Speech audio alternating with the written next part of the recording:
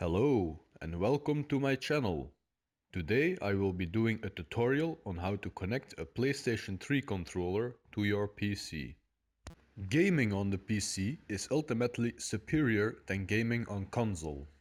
It has the advantage that you can mod your games and you don't have to pay for PlayStation Network or Xbox Live. The one good thing about playing on the console though is that you have a controller Having a controller in your hands is way better and far more practical than having to use your keyboard. Now, there are special controllers out there for gaming on the PC. But why would you spend money if you can just use an old controller that you have laying around in your house? I will be teaching you how to easily connect a PlayStation 3 controller to your PC. All you need is a PS3 controller, a USB cable and an internet connection. Let's get started. The first thing we are going to do is create a new folder on our desktop and call it PlayStation 3 controller data. Now we will go to this website and download the Xbox 360 driver.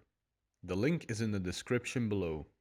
Xbox is owned by Microsoft, so they don't allow PlayStation 3 controllers or any other Sony devices on their computers.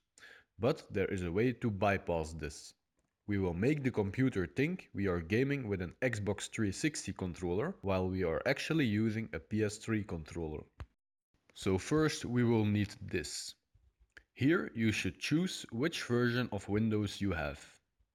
If you have Windows 10 like me, you should just choose this one over here, the Windows 7 64-bit. It will work just fine.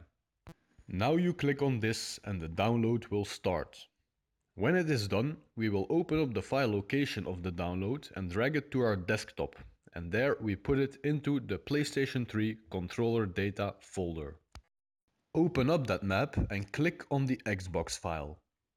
A window will show up and now you install this.